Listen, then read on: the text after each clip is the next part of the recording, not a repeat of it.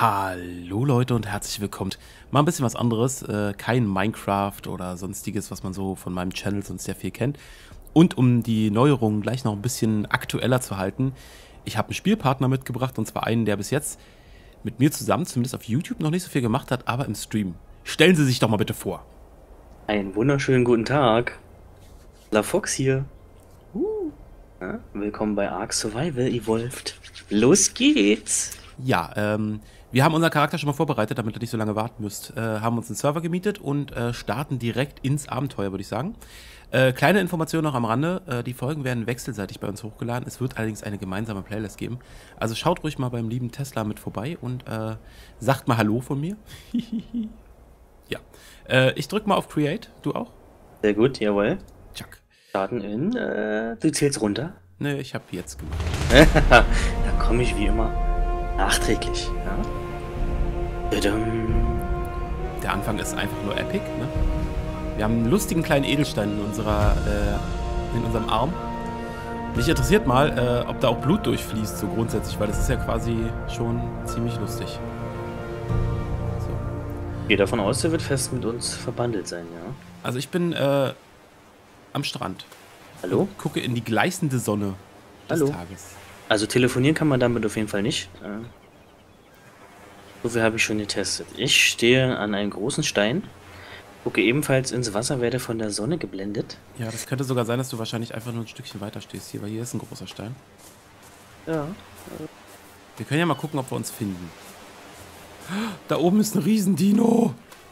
Ja, ich sehe dich, glaube ich, sogar schon. Ich äh, muss leider mal den Dino da oben im Auge behalten. Das, äh, Mhm. der, der macht nämlich ganz schön Terror und äh, kippt Bäume um und so. Hier ist ein Flugdinosaurier gespawnt, naja. Ach, da vorne bist du. Ah ja. Hier oben ist ein... Wow! Und es fängt natürlich genau wie immer bei uns an zu regnen.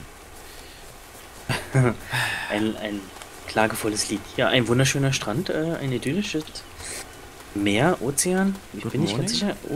Wow, hallo. Hallöchen! Da bist du ja auch ziemlich nackig hier, ne? Ja, das kann ich. Äh, So. Äh, was ist denn hier? Hold for Options. Kann ich dich schlagen? Nee. du kannst mich nicht schlagen. Hallo? Du hast da Blut. Bam. Aber Du der auch? Witz ist, ähm, wir kriegen, glaube ich, keinen Schaden dadurch. okay. Weil PvP deaktiviert ist. Äh, sag mir jetzt bitte nicht, es wird dunkel. Das sieht so aus. Äh, Ach, come on! ein schöner Effekt hinten, aber äh, Also ohne euch jetzt hier lange zu langweilen. Ähm, es ist ein Survival-Game, für alle, die es nicht wissen. Und für alle, die es aus dem Titel noch nicht erlesen konnten. Ho, ho, ho, ho. Und man kann so lustige Sachen machen wie Get Wood. ja. Mach mal mit. Au, au. Bei gestandene Kerle, die Augenbrüllen. Was gibt's Schöneres? Genau. Au, au, au, au, au. Ein neues Tempel wäre auch gut gewesen. So, ähm, und man kann Sachen craften. Zum Beispiel eine Pickaxe. Dafür müssen wir allerdings noch einen Stein finden. Guck mal, hier liegt ein Stein. Nehmen wir den mit. Ja. So, und ich baue mir jetzt eine Pickaxe. Haha, ich bin schon voll weit. Ich habe das Spiel quasi schon gewonnen. Okay. Dann äh, herzlichen Glückwunsch. Danke, danke, Ich hätte danke. dann gerne den Loot vom Endgegner. So. Äh, ich habe eine Pickaxe, die kann man jetzt auch ausrüsten und benutzen und kann zum Beispiel auf so einen Dodo einschlagen. Wenn der nicht mate-boosted wäre und ich Angst haben müsste, dass der mich da verprügelt.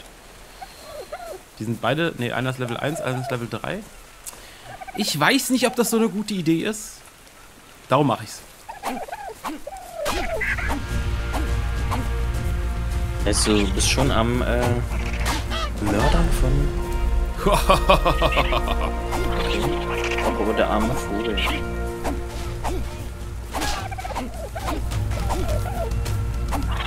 Komm schon, Dodo! Blödes Dodo-Vieh. So. Ich habe zwei Dodos getötet und du hast die gleich erstmal auseinandergenommen, ja? Ja, ich. Äh, jetzt, wo sie gut. sich nicht mehr bewegen, sind sie auch faire Gegner für mich. Äh, Los jetzt geht's. warte mal ganz kurz. Stopp. Ja. Stopp, stopp, stopp, stopp. Nein, komm nein, mal, nein, komm ich mal muss zurück. rennen. Wenn Komm du zurück. Stopp sagst. Komm äh, zurück, komm zurück. Wir müssen einen Tribe gründen. Ansonsten äh, teilen wir uns unsere Erfahrung doch nicht, Mensch. Okay. Ähm, du hast darin Erfahrung, gründe mal einen Tribe.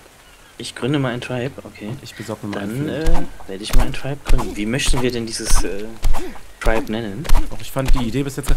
Ich habe Metal bekommen! Warum? Ich habe Metall gekriegt. Ernsthaft jetzt? Ja, okay. Das ist neu. So, äh, ich habe da mal eben kurz ein Tribe gegründet. Wenn ich jetzt dann auf dich gehe, aber du kannst, glaube ich. Äh, jetzt kann ich auf dich gehen und dann kann ich äh, Accept Invitation machen.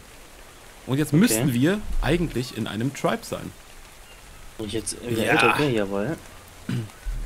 Promote Player to Admin. Äh, also an dem, an dem Zeug steht übrigens dran, dass es normalerweise in Höhlen oder in hohen Bergen gefunden wird, das Metall. Aber ich finde hier massenweise Metall. Aber dafür Okay. kein Flint. Hast du vielleicht eine, eine Spezial-Pickaxe oder irgend sowas? Nö, gar Du nicht. schummelst doch. Ja, Ich hätte gern Flint, bitte. dann quasi in fünf Minuten äh, sind wir dann im End und äh, das war's. Ach ja, stimmt, das ist End. Ich habe das End vergessen. So, ähm, okay, wir haben ein bisschen Zeug. Du hattest da einen Plan angestrebt. Du möchtest dich ein bisschen mittig auf die Insel bewegen. Sehe ich das richtig? Jawohl, also wenn man jetzt hier mal auf äh, die Karte schaut mit M, Ja, dann äh, muss ich mit Entsetzen feststellen, dass die Karte teilweise aufgedeckt ist. Äh, Ja, und zwar da, wo wir schon mal gespielt haben. Warum auch immer. also ein bisschen gruselig. Jedenfalls sind wir diesmal äh, in einer anderen Ecke. Aber ich habe ein? Level Up und ich sollte das vielleicht vergeben. Ja, erzähl ich mal, du erst überlegt, dass wir auf jeden Fall Pi mal Daumen das Zentrum der Karte anstreben. Ähm, zum einen, weil dort mit Sicherheit äh, wir bisher nicht waren. Dort sicherlich viele coole Dinge sind äh, und da dann auch viele große böse Monster. Und ja, So. Dann zu mir, ähm, Level Up und so. Man kann jetzt quasi jeweils einen Punkt vergeben bei jedem Level Up hier. Äh, ich werde meinen ersten Punkt wohl in äh, Health setzen, einfach um ein bisschen länger zu leben. Und ich habe schon ein weiteres Level Up gemacht, weil ist ja so toll. Äh, und das setze ich dann in Food. So, und jetzt kann ich Engram Points vergeben, sogenannte Crafting-Rezepte. Und ich würde sagen, verhalten wir uns wieder wie vorher. So ein bisschen. Also, was auch ähm, immer das heißt. ich äh, würde mich grundsätzlich äh, auf den Klamotten-Part beschränken Jawohl. erstmal und du dann auf die Hütten und ich würde sagen so Speer und Hatchet und Campfire und so lernen wir wahrscheinlich alles. Also Jawohl. lernen wir mal einen Campfire, eine Axt und einen Speer. Äh, ich denke, was diese drei Dinge können, ergibt sich äh, aus dem Kontext. Da werde ich jetzt nicht groß drauf eingehen. Was kann denn ein Speer? Was kann denn ein Speer? Erzähl doch mal, erzähl doch mal. Den kann man zum Beispiel wegwerfen. Das ist immer die beste Idee. Also wir haben ja auch so ein Craft-Menü drin und man sieht jetzt hier für den Speer zum Beispiel brauche ich noch ein bisschen Holz und ein bisschen Fiber. Fiber kriegt man so aus Büschen. Holz äh, kriegen wir eher mit einer Axt, das heißt werde ich mir jetzt eine Axt bauen. Okay. Wir sind übrigens, wir haben uns keinen Meter bewegt und äh, sind schon wieder fast voll. Merkst du was? Die fast voll. Jetzt seht Achso, ihr, vom Inventar meinst du? ja, jetzt äh, bekomme ich hier nämlich mehr Holz raus äh, und weniger Thatch. Also es sind so Ja. Da du Holzfaser. ja ähm, für keine ordentlichen Klamotten gesorgt hast, ist klar, dass das Inventar relativ schnell voll ist, weil du hast ja nur deinen Schlüpper. Ja, im Schlüpper kann man nicht so viel lagern, meinst du? Ja. Meine ich. Ein bisschen So. Fiber bekommen vielleicht? Okay, hier gibt es keine Fiber. Schade, schade. Das Leben ist äh, manchmal hart. Holz ist auch sehr schwer übrigens. Also äh, Holz wiegt ein Kilo pro Stück. Und wir haben momentan eine maximale Traglast. Das sieht man auch übrigens im zweiten Symbol auf der rechten Seite, falls ihr den noch nicht äh, gesehen habt. Wir sind schon so halb voll jetzt. Leider. Auch zweimal Metal bekommen. Ja, also ich mich. Haben wir ein Update verpasst oder so? Das wäre durchaus möglich, ich kann es mir aber fast nicht vorstellen. Komm, Weil das Spiel ist ja relativ neu, wird immer noch jeden Tag geupdatet. Was ich persönlich sehr, sehr gut finde. Ja, ähm, man entdeckt quasi jedes Mal, wenn man joint, wieder was Neues. Finde ich auch sehr witzig. So, ich muss jetzt leider mal den Stein hier weghauen.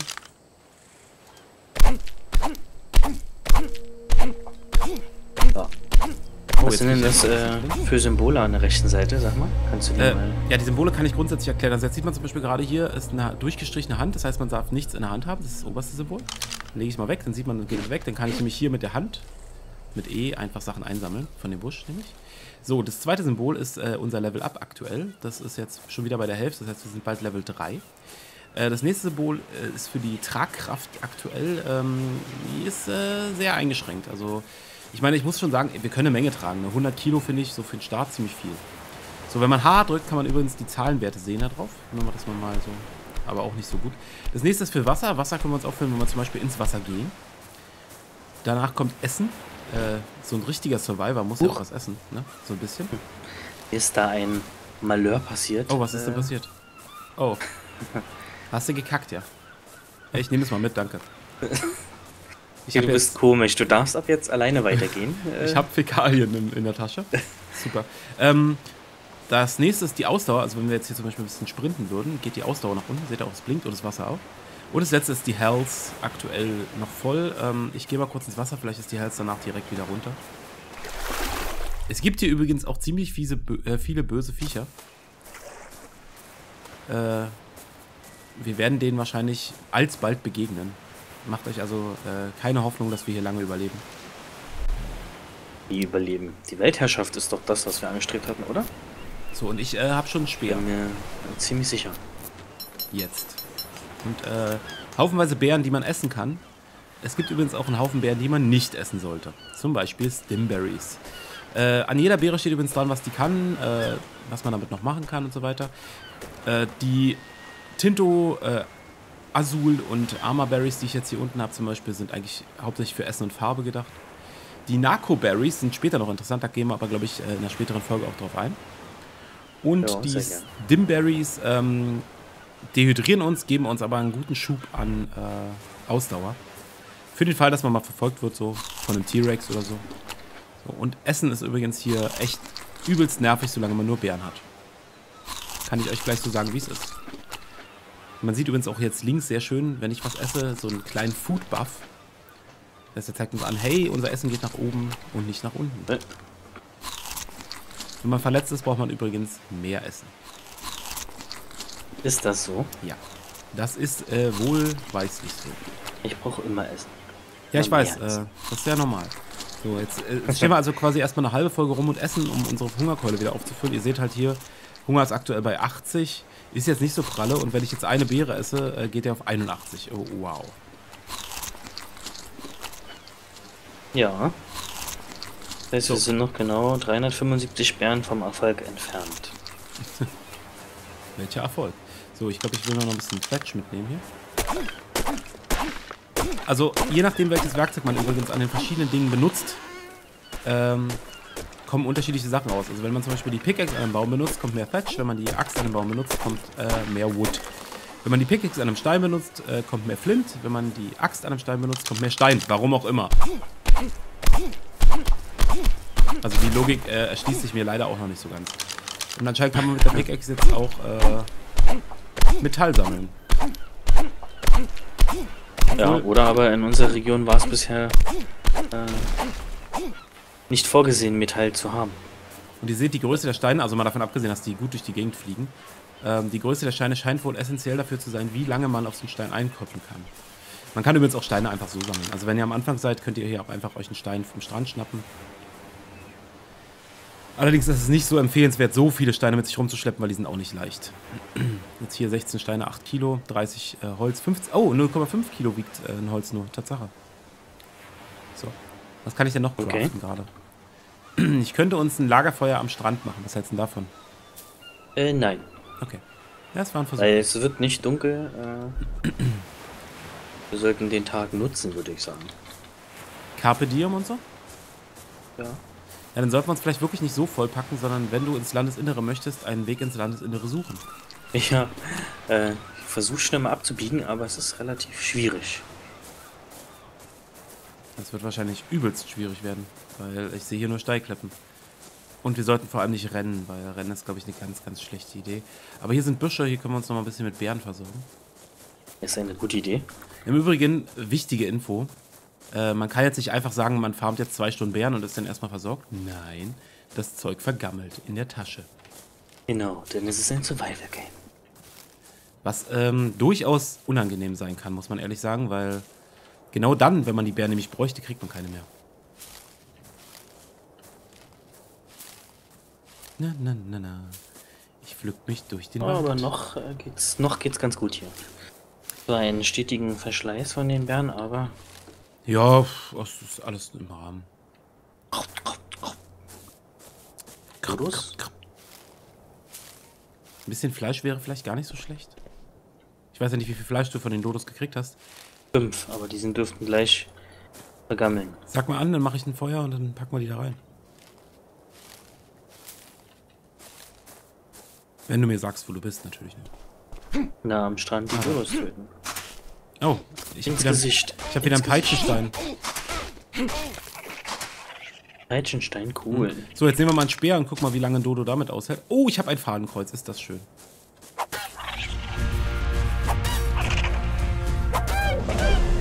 Und Level Hast du gut 12 gemacht. Dodo getötet. So, dann würde ich sagen, ich mach, mach jetzt mal hier schnell für uns ein Lagerfeuer. Und wir, wir machen Warum mal, hier? Äh, weil wir das Fleisch grillen sollten, bevor es schlecht wird, würde ich sagen. Baumfeld. Boah, das war fast auf meinen Kopf, ne? Das weißt du schon. So, Lagerfeuer ist auf 4. Übrigens, wenn man ein, äh, eine festgelegte Taste hat, kann man das auf der Taste direkt wieder neu bauen. Also wenn mein Schwert jetzt zum Beispiel kaputt geht. Guck mal, hier ist Feuer. Feuer. Feuer, Feuer, ah, ah, Ich, te ah. ich teile es mal und pack einfach Feuer, Feuer. mal die Hälfte ah, meines ah. Holz da rein. Hilfe, Hilfe, Hilfe. Ach nee, ist ja nur gar kein Feuer. Jetzt. Uh. Romantelic. Und ich würde sagen, was, was machen wir denn jetzt nach oben? Ich mache mal das Weight nach oben, damit ich mehr tragen kann. Und habe immer noch einen Haufen Engram Points und werde jetzt mal gucken, dass ich Klamotten baue hier. Ähm, die Pants, learn. Shirt, learn. Gloves, learn. Boots, learn. Und Hat. Und damit habe ich alle meine Engram Points perfekt ausgegeben. Okay, das freut mich. ja. So, dann klaue ich mir mal das erste Fleisch direkt raus. Und ein bisschen Charcoal, wenn auch immer. Noch brauchen wir die ja nicht. Und so ein Fleisch zu essen lohnt sich halt wesentlich mehr. Ihr seht es auf meiner Hungerkeule. Plopp, fast voll. Also Beeren sind echt unsinnig. Und rohes Fleisch ist noch unsinniger. Das nächste Steak ist meins. Zack. Ja, ist schon idyllisch. So, das war das Spiel. Äh, Ja, genau. Wir hören jetzt an der Stelle auf. Nein, natürlich nicht. Ich finde es mit dem Fadenkreuz übrigens sehr schön, ehrlich gesagt, weil es ist nicht bei der Pickaxe oder so, sondern es ist Tatsache nur bei der Waffe. Das haben wir übrigens geaddet auf dem Server. Also, wir haben natürlich erstmal einen Server angemietet dafür. Weil, wenn wir damit anfangen, dann richtig. Äh, ich. ich kann irgendwie den Busch nicht einsammeln. Ah, jetzt. Mehr langfristige Ziele äh, Genau. in diesem Spiel. Ich habe zwar noch gar keine Ahnung, worum es hier eigentlich geht. Äh, selbst wenn man ein bisschen liest, äh, momentan überschlägt sich alles so dermaßen, dass man gar nicht äh, richtig erfassen kann, äh, worum es geht. Auch ist dieses Spiel zu diesem Zeitpunkt noch in einer Alpha. Das heißt, hier kann noch eine ganze Menge passieren. Hier kann noch mal umgeworfen werden. Kann demnächst ein äh, Mario Kart ähnliches Spiel werden. Ja, wir haben keinen Einfluss.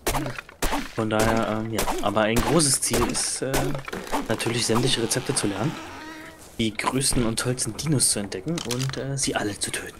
Genau. So als äh, kleiner Hinweis nebenbei, wir haben zusätzlich noch einen offenen Stream-Server. Also offen im Sinne von, ihr habt die Möglichkeit, wenn ihr euch jetzt entscheidet nach dem Let's Play, hey, ich will da mitspielen, äh, uns im Stream, oh ja, guck mal, jetzt ist mir schon die erste Beere vergammelt, uns im Stream zu begleiten. Da müsst ihr einfach nur die Streams verfolgen und äh, habt ihr die Möglichkeit, eine Wildcard zu gewinnen im Stream. Dementsprechend äh, könnt ihr dann auch mal mit uns zusammenspielen, ne? So Ab und an. Aus. Den Wasserträger machen quasi. Genau. Guck Mal, du siehst ganz schön verhungert aus, mein Freund. Entschuldigung.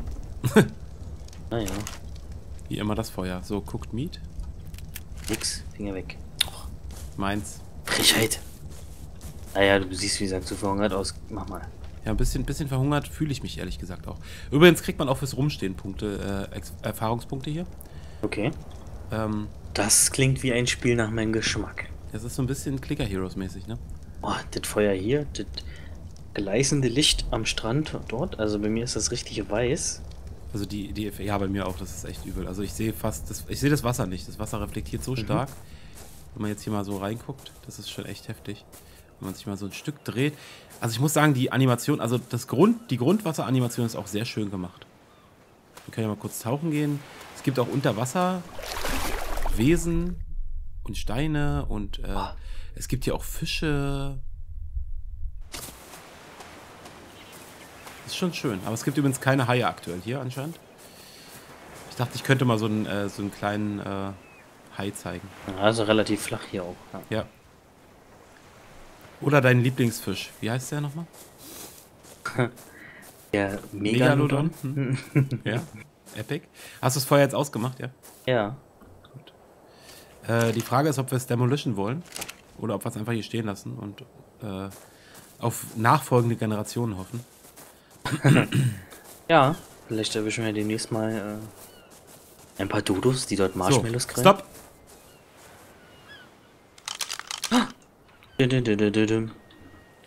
Das ist unser erster etwas gefährlicher Radino. Äh, ich habe übrigens gelesen, wie man die besiegen soll, ne? Jetzt bin ich gespannt. Du sollst rückwärts weglaufen, wenn er spuckt, einen Schritt zur Seite machen und sonst immer, wenn er ein Stück näher kommt, mit dem Speer einmal zuhauen. Es soll wohl nur drei, vier Speerstöße brauchen. Na, mein Freund? Siehst Na, du mich? wir gucken uns das an. Oh, oh. Da startet die Runde. So. Es geht los. Man sieht jetzt hier. Er spuckt. Seitlich weg. Ja. Und, und greift dich an. Sehr gut.